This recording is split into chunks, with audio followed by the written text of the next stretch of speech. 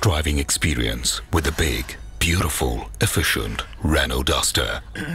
Oh, I just went shopping. The keys.